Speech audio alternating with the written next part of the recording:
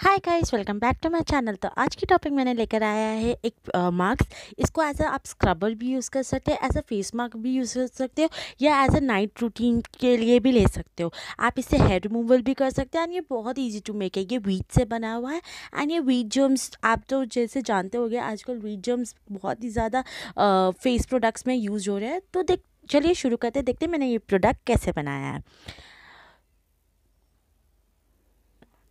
तो मैंने ये वीट फ्लावर लिया है गेहूँ का आटा जो हर किसी के घर में होता है नॉर्मल गेहूँ का आटा है, जिसमें मैंने वन टीस्पून मतलब एक छोटी सी पिंच ऑफ़ हल्दी डाला है। यहाँ पे मैंने एक कच्चा दूध लिया। ये कच्चा दूध मैंने सुबह ही निकाल के बाहर रख दिया था इसको थोड़ा सा आप इसके बैक्टीरियाज जो इसके बैड बैक गुड बैक्टीरियाज होते हैं, उसको थोड़ा फोमेंट होने के लिए मैंने इसके अंदर से जो ये रॉ मिलता है इसको बाहर निकाल के रख दिया था एक दो घंटे के लिए, तीन घंटे के लिए ऑलमोस्ट कि ये थोड़ा सा इसके बैक्टीरियाज जो है वो बिल्ड हो जाए। इसको मैंने मिक्स किया। ये तीनों प्रोडक्ट्स को मैंने बहुत अच्छे से मिक्स किया मिक्स हो कि आपके लम्स ना हो। अगर लम्स भी हो तो इसको आप अच्छे से हाथ से भी इसको मिक्स कर सकते हैं क्योंकि ये जो मिक्स का मिक्स करने का प्रोसेस ये थोड़ा टाइम कंज्यूमिंग है बट इट्स ऑल वर्थ आपको ये प्रोडक्ट बहुत ही ज़्यादा अफेक्ट करेगा अगर आप इसको रिलीजियसली फॉलो करोगे.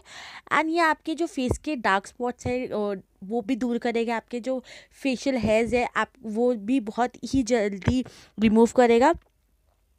इस, ये एशियन टाइम से यूज़ किया हुआ मेथड है एंड इसमें कोई प्रिजर्वेटिव्स कोई केमिकल नहीं है। आपको मैं एक डेमोस्ट्रेशन करके बताऊँगी एंड आपको खुद ही पता चल जाएगा यहाँ पे मैंने कोई कट शॉट नहीं किया है। यहाँ पे जो भी रियल शॉट्स है मैंने वही डाला है एंड आपको पता चल जाएगा कि ये कितना अफेक्टिव है। इसको मैं एज अ स्क्रबर आपको बता रही हूँ। अगर आपको इसको रात को यूज़ करना है तो आप एक पतली सी लेयर अपने फेस पर लगा के सो जाइए ड्राई होने के बाद एंड सुबह फेस वॉश कर ली फेस फेस उठने के बाद वॉश कर लीजिए। आपको बहुत ही अच्छे रिज़ल्ट मिले मिलेगा या फिर अगर आपको इसको as a hair removal use करना है तो आप नहाने जब भी जाओ तो इसको लेकर जाइए एंड इसको अपने पूरे फेस पे अच्छे से मल लीजिए जब तक ये जो आटा है, वो पूरा सूख नहीं जाता।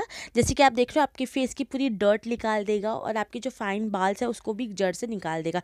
यहाँ पर आप ये बहुत ही एशी आप अगर देख सकते हो तो यहाँ पर मेरी जो हाथ की गंदगी थी, ये एज अ क्लेंज़र के तौर पर भी यूज़ होता है, वो भी निकाल रहा है एंड ये बहुत, थोड़ा सा टाइम कंज्यूमिंग है बट ये इसके अफेक्ट्स बहुत ही अच्छे हैं एंड आई होप आप इसको एक बार ज़रूर ट्राई करना एंड आपको ये इंस्टेंट रिज़ल्ट देगा। बट अगर फॉर लॉन्ग लास्टिंग और ज़्यादा रिज़ल्ट के लिए आप इसको रिलीजियसली फॉलो करिए तो आपको बहुत ही अच्छा देखिए मेरे हाथ में ये जो पूरे हाथ, मेरे हाथ की गंदगी थी, वो दिख रही है। ये देखो मेरा बिफोर एंड आफ्टर आप कह सकते हैं, मैंने अपना हाथ वॉश कर लिया, एक नॉर्मल पानी से। देखिए ये भी कोई भी स्टिकीनेस से आपकी स्किन बहुत ही ज़्यादा सॉफ्ट फील करेगी एंड आपको इंस्टेंटली एक ग्लो दिखेगा अपने फेस पे जस्ट बिकॉज़ वो एक मसाज प्रोसेस है। तो अगर आपको मेरी ये वीडियो पसंद आई हो तो please hit the like button subscribe to my channel and share this video I hope bye see you next time